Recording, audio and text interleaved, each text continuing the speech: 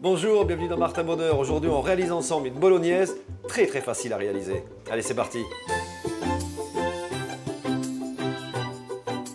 Les ingrédients pour notre recette. De la pancetta, de concentré de tomate, du bouillon de bœuf, des oignons, des carottes, un petit peu de céleri, quelques tranches de pain, un peu de haché de bœuf, deux feuilles de laurier, un petit peu de basilic, quelques tomates fraîches, un petit peu ici de piment fumé et des gousses d'ail et une euh, matière grasse végétale. Alors on a trouvé une petite astuce, vous allez voir, c'est très très simple. On va s'équiper simplement de ce robot et on va tout simplement le mettre en marche vitesse maximum. Alors on va commencer avec toujours le plus dur.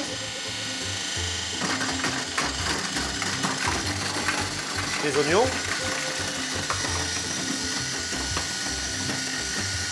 Le céleri.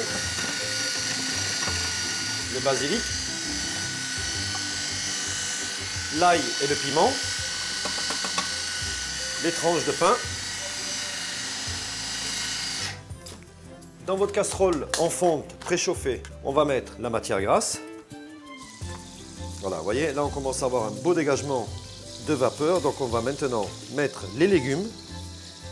Voilà, on va bien laisser suer tout ça.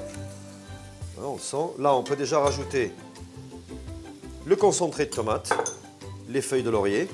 Voilà, et on vient bien faire suer notre préparation. hein. Alors la pancetta maintenant.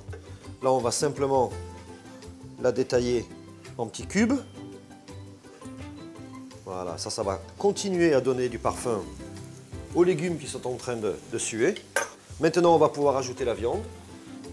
On va augmenter un petit peu le feu. On va venir faire hein, rissoler notre viande avec les légumes. Voilà, on rebaisse un petit peu le feu. Et maintenant, on va mettre les tomates. Là, on va les couper en quatre. Voilà, et une fois qu'on a mis les tomates, on recouvre avec un petit bouillon de bœuf. Hormis la cuisson, on a terminé notre bolognaise. Donc qu'est-ce qu'on fait? On met le couvercle. On règle le feu sur médium, c'est-à-dire que de 1 à 10, je me mets sur 5. Et on se retrouve donc dans une heure et demie pour goûter notre bolognaise. Nous sommes maintenant à 1h30 de cuisson. Ça, c'est une belle consistance. Il reste suffisamment encore de liquide, de façon à ce que quand on met les pâtes, hein, elles- elles vont pouvoir absorber encore un petit peu de liquide.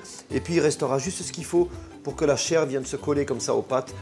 Donc, si jamais vous avez des idées aussi pour raccourcir des recettes, hein, des astuces qui vous permettent de gagner du temps dans une cuisine, gagner aussi de la vaisselle, n'hésitez pas, notez-les, photographiez-les, vous nous les envoyez et on les publiera sur la page Facebook de Martin Bonheur. Bon appétit